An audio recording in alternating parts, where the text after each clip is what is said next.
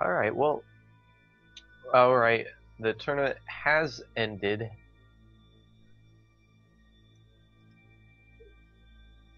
So, We can- spoiler alert, you know, we we already know who's won. And to me, it's not really surprising that he's won. It's surprising that he's come out of retirement for this. Uh, I, I, I, w- was he out of retirement before this tournament? Perhaps just a little bit. But I, I have not been seeing anything from Szeweningen uh, until today. And so, Yep. so ha- having him back is re- really kind of cool because you know we, we get these uh, very interesting games because we, get to see somebody who understands predicting your opponent's moves to such uh, to such an extreme level that it's very hard to play against him.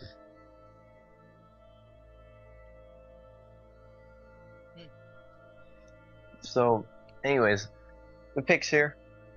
Um, Hmm. Szeweningen with great picks. Yep.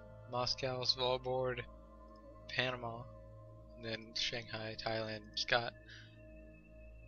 Great picks because you have the one turn uh, turn bonus in uh, Scandinavia. You have quite a safe bonus for uh, Central America.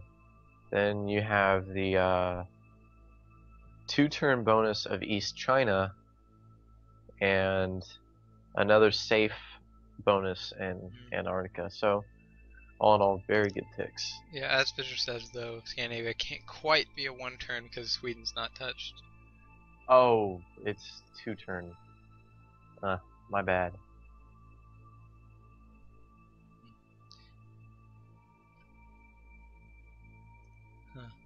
Yeah, the only one. No, there isn't even a one turn. I don't think there is one on this map. No. Um. My bad then. I, I thought that Scandinavia was a one turn bonus No, because no. I'm tired. I thought it was too until Fizzer said that. my bad. Um. Yeah, there's no one turn bonus on this map. And Scandinavia is not that great of a two turn bonus to focus on. So his first pick should have been East China and uh, Southeast Asia. yeah. Hmm. Well, we'll compare that to your who went Svalbard number one, and then Malaysia. And followed Malaysia? by Moscow, Panama, Scott, and Australia. That's an interesting pick in Malaysia. Malaysia. Um, I would understand Malaysia a little bit more if you were going Australia, but um, there's no really supplement pick that he does for in uh, for uh, Malaysia. I mean, he does have the sixth pick as Australia, but that's overshadowed by the uh, fifth pick in Antarctica. So, uh, not a big fan of these picks. Hmm. So, anyways, Yep. So we will see. I we'll think see out- that. I think out of the two, Sch- Szeweningen has the pick advantage and somewhat of a positioning advantage because of the East China being able uh, to, uh, well, actually, he gets uh, Central America, so it doesn't quite matter. Um, but he's able to counter Hroptatyr's picks a little bit better than what Hroptatyr ends up getting. Yep. So we see a pick and positioning advantage from Szeweningen. Yeah, and we do see Hroptatyr got his first, second, and fifth picks. So he Which knows. that- Go ahead. Yeah, that fifth pick in Antarctica isn't really going to help him out much. Yeah. He just let he just knows that Szeweningen has Moscow and Panama, so he knows he's not going to be able to get Scandinavia very easily. So he's probably he will probably focus focus either in Scott or Malaysia, neither of which are really great expanding. He can get Antarctica in two turns, but three turns for Indonesia, Uh huh. and then you know Szeweningen has that Shanghai, which counters it. I don't know why you would do this, but uh, Hroptatyr could uh, go for Australia, and Oh, yeah. it would it, it would be it wouldn't be that efficient, but uh, it it definitely would be about two turns. You could probably do it in two Three. turns. No, no, I don't. Uh, that let's four there would. Yeah, that that four would be a stumbling block. So you could, yeah, if you could have gotten it in two turns, then Australia would have been a little bit interesting. Yeah, if he had had like South Australia instead of Scott as the higher atta- higher option, then he would be able to get that in two turns, and that might be a viable option. Yeah, that's that's why I was wondering why he made Scott before Australia because uh, if if I were to get down to my uh, fourth or fifth picks, I would want something that actually supplements that Indo pick, and he has nothing that supplements that Indo pick. Yeah. Hmm. And conversely, Szeweningen's got his first or his uh, yeah his first, third or first, second, and fourth. No, first, third, and fourth. So he knows that Hroptatyr is in Svalbard, but that's the only one that he knows of. and they both know that either opponent is around that area. Yep. So at least I think Hroptatyr should guess that Szeweningen is going to be somewhere around there. Well, yeah, that he should know that know it because he had one of his guys, one of his starts Yeah. there.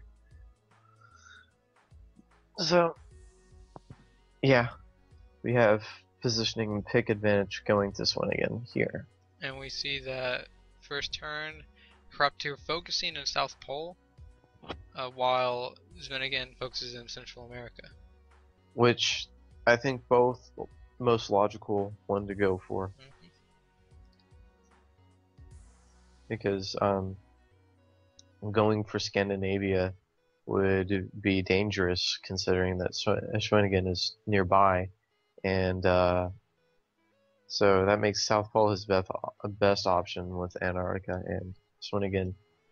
Um, knowing that his East China pick is going to take three turns, decides to go for Central America.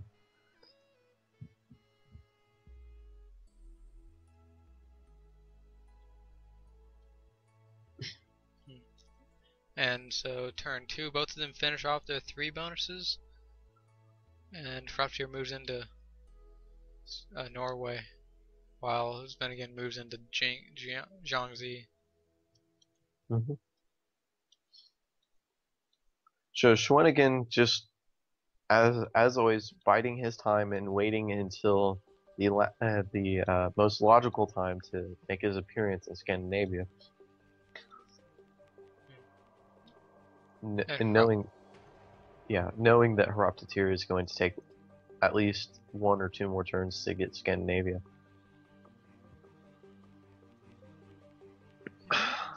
And turn four, he puts eight down there. And uh, as Hroptatyr finishes off Indonesia, they meet in Taiwan, Philippines. So that's one point where they're gonna have to be fighting, and then that other one in Moscow, Murmansk. Now, hmm, I think Hroptatyr made the uh, wrong move in being the first to go on the offensive, because uh, now he's given Szeweningen the uh, total army advantage here uh, in the in Europe. So we're gonna see Szeweningen probably winning Europe in this matchup, but we'll see if Szeweningen can hold off in China and Asia. Yeah, and interestingly, after turn five, Szeweningen is up 30 armies total to 22 armies. So that's a significant advantage so early in the game. Right, and and that's because Hroptatyr may it made the first move. He's going going for uh, Szeweningen pretty aggressively. I mean, I think even Sun Tzu uh, said something about uh, how you should, if you have the chance to go on- onto the offensive, you should wait until your opponent goes onto the offensive, because your opponent is going to use much more resources before you do, because marching an army, you know, eats up more resources than staying put in a camp and waiting for your enemy to come to you. And we, we see this this principle is followed in this game by the fact that Hroptatyr had to overcome two twos to get over there. So it really loses him that matchup in Europe, and he realizes it and re- retreats back to Norway. And I think his thought pattern is maybe try to get that Scandinavian bonus and so that he can gain an income advantage and gain back the positional advantage over there. Yep. And so, as we continue on to number, uh, turn six, we see a noticeable group in Hong Kong. It seems he's going to break Thailand and go offensive there, as he also moves into Murmansk to push up a little bit in there. However, Hroptatyr getting that many guys in the Philippines has a he could have attacked, and if he had attacked, then he would have broken into Taiwan. Yeah. Um. Um. The chances uh, uh, are like uh, above seventy percent for a ten overcoming. No, I think it's more like fifty to sixty percent when uh, a ten overcoming a six. So, um, is it worth the chance? Maybe. Ten maybe. overcoming a six is like really, really high chance. Is it? Yeah, because that's sixty percent. Yeah.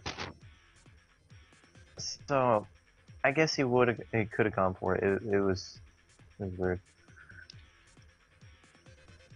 And then, while this is happening, Sminigan took Southeast Asia. So now he's up by three reinforcements. So now Hroptatyr not only is he fighting back from an army deficit of 38 to 32, he's also down three reinforcements. Yeah, uh, Intimidator corrected me. 10 versus 6 was actually 90%, so Yeah. uh, that would have been a great move. Never mind. He's. Yeah. So. mm, But. Heroptus here would have had to predict that Szeweningen wasn't going to focus too much on Taiwan, so. Yeah, it would have been a gamble to attack because if he had put more there, then he would have just been down even more armies. Wh- wh- When eh, when you're playing players this great, you sometimes have to take that risk. So, because if he had taken that risk, he would be in a great position right now. Yep, and he just said on Skype that seeing on the turn earlier that he wasn't able to break uh, China, he got last move and predicted that he wouldn't attack China this turn either. That was why he only Mm. put that many. Yeah, if if Fizzer agrees that if if he had broken into East China, it, it, this game would be much longer than nine turns. It would be a pretty interesting game here on out. But uh, not not doing that, he has lost the income advantage and now is losing the um, positioning advantage, and it looks like Szeweningen is just going to wreck him after this.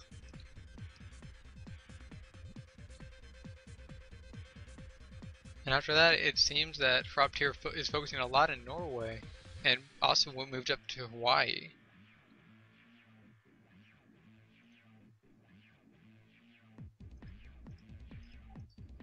Don't know how, how much uh, being able to counter Ce- Central America will help out Rocketeer. Yeah, but he gives up Indonesia, and that puts him down 8 to 15. So now Yeah. he's down by 7. And that that makes Even- it extremely difficult to come back, especially since he's not able to really get an easy bonus right now because Shev is still threatening Scandinavia with Moscow.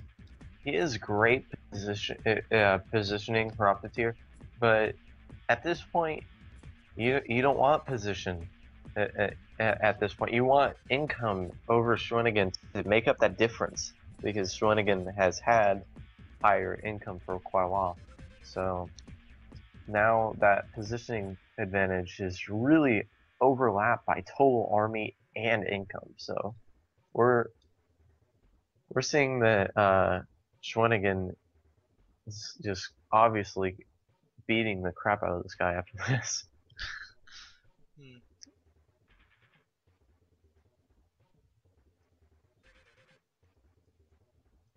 Oh, he does break on turn 8, East China which helps even it out a little bit. Yeah, but at this point, yet again, Szeweningen just kicking some ass.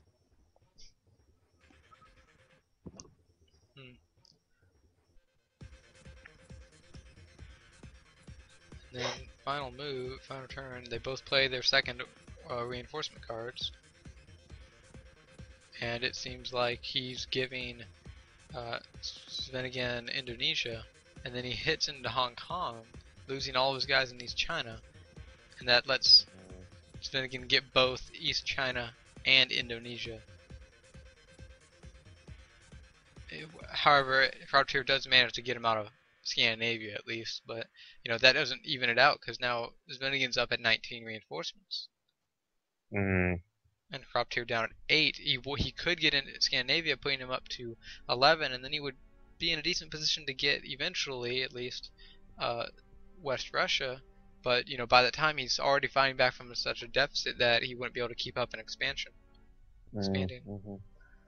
And also the positions of Scandinavia and West Russia, he wouldn't really have much else to expand to besides the uh, Europe. Yeah, he, That's not gonna help. all he could really get is West Russia and then Yeah, Greenland or something. yeah, completely just dominated at that point by Szeweningen. So after that, Hroptatyr admitted defeat. Szeweningen took the win. Good game, Hroptatyr. Congratulations, Szeweningen, for winning the second ever Warlight live streamed tournament. Hosted by Wow. Really, I, I'm glad that Szeweningen came out of retirement to play this tournament because it, um, it was it was very informative because his strategy is one, one of the uh, his strategies are some of the best in Warlight, and it really helps with uh, with other players who are watching this look at somebody who's able to predict that well and you know it, we're not only you know analyzing it. He's actually telling us in, in the chats and uh on skype you know exactly you know why he did what he did. So it was very informative coming from Szeweningen. i think uh, i think all in all it was a great tur- uh, tournament. We had a few upsets. With Fizzer being knocked out by Dr. D and Hey Hey Hey being knocked out by Hroptatyr. But upsets are Part of the game. Part of the game. It's it's fun to watch. I, I was expecting this ending round to be Hey Hey Hey versus Szeweningen, but Hroptatyr playing that a better game over Hey Hey Hey. That was just very well done. Indeed.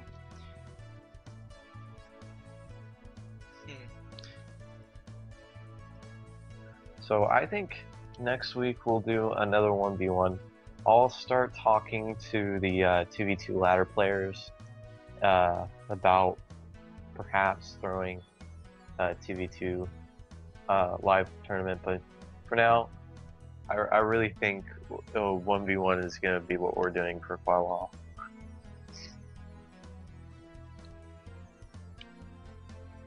Yeah, it's the easiest to commentate and the quickest to go on because you don't have as many people to organize and everything. Yeah. Um, other than that, the other options I was thinking about playing with were um, actually a no fog game, but I think with Szeweningen coming back and showing us, you know, how, uh, you know, that uh, that fog really makes a difference in gameplay. Uh, I think we're going to have to keep it with uh, one v uh, strategic one v one settings. So all in all, great tournament. Yep.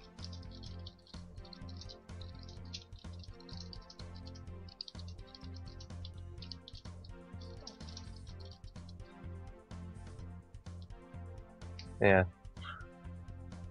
Um, about our two v two game, uh, I, I'm not providing commentary. Uh, it's going to be completely one-sided from Mythonian and Casey Yeah, Scribe. of That was played like before we even thought of live streaming or whatever. Yeah, well, it, it was funny because at the end of the game, I actually told him about my ideas of doing a live stream and told him that I, w- I would like it Yep. uh, if he came by. So it, it it's it, what's interesting about Mythonian's uh, Let's Plays is the fact that he's recording them as he's playing. So, of course, he waits until the end of the game to post everything on YouTube because Well, it's like even really then bad. it takes like weeks because I've got so much recorded. Oh gosh, I've got hours and hours and hours of video that I still need to upload. and then you have to uh, cut it and put it in a. Oh well, it's like most of it's already done with that. It's just can't upload it fast enough. Anyways, yeah, eh, yeah, like Szeweningen said, it, it, it takes away ninety percent of the skill because I, I think most of the skill in this game has to deal with being able to predict uh, where your opponent is and how your opponent is responding to the situation. Um, the other option that we want Fizzer to play with is hiding the winners so that while we're broadcasting, you know, people might be able to go to the tournament and see the winner, but as we're broadcasting, nobody will actually know the winners unless we say so. And then the second option I wanted to play with is actually uh, being able to click on a player and see their perspective with the fog. That's done for the next update, the uh, first one, or the second one. Well, that should help things be a little bit more interesting and a little bit uh, less predictable, or a little bit more of a surprise when we actually, when the people actually find things out like that. It won't show the Yeah, that that'll definitely work. Um, anyways, thank you, Fizzer, for uh, actually changing my settings into a real-time tournament. Um,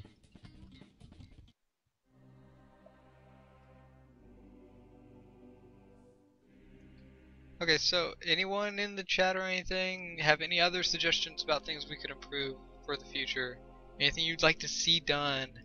Anything that you think was done badly today that could be done better tomorrow or next week or whatever? okay. Well, yeah, we could probably block the lower right box, but I think Well, that displays reinforcements and things like that. I mean, I could block that pretty easily. I mean, takes me 10 seconds to put something there, but yeah, then we then we wouldn't be correct able to start see time. The in- we wouldn't be able to see the incomes, and I don't Well- feel like counting it. We could, it's just they wouldn't. Yeah, I can have it we only part of the stream, part of the overlay. Yeah. Yeah, s- like Schwinnigan said, when you enter the game through the tournament page, it'll show the winner. So, Yeah, yeah. So we won't really need to block it. but alternatively, what I can do is I can actually uh, feed Mythonian the uh, games, the link to the games. So, it, it- yeah, the block is the tournament screen, and what I'll do is I'll feed Mythonian the game so he can go directly to the game instead of having to go through the tournament page. So that'll be Yeah. fine. Like I can have a a separate bracket thing that doesn't show who wins until we actually announce it or Yeah. And the only ones that won't announce is probably uh, Either when we're going we're to not skip going it, to. yeah, or Yeah, if when we're, we're actually going to go it. over it after we're done with it. Yeah, okay.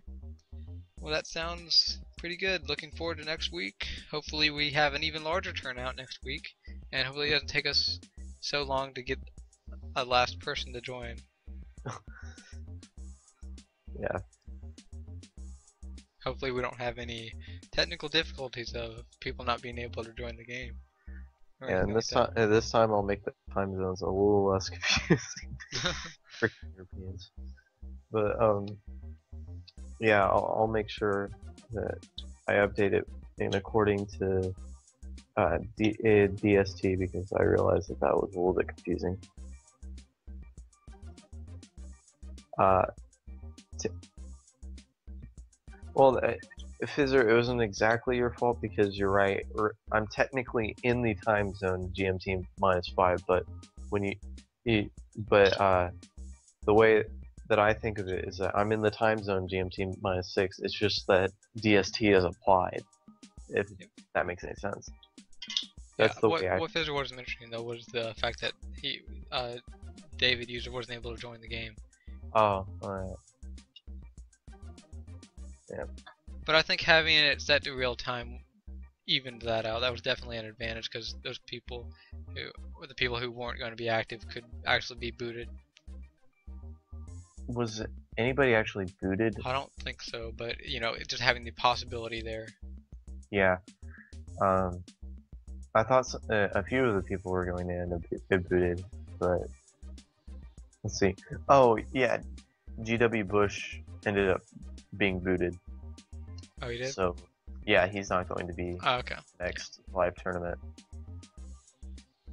And uh, I'm not going to automatically uh, invite him like I did this tournament. Uh, everybody else seemed to actually get in and play. Yep. Wait a minute. Uh, was Kaiser? Yeah, Kaiser ended up did it too. Oh.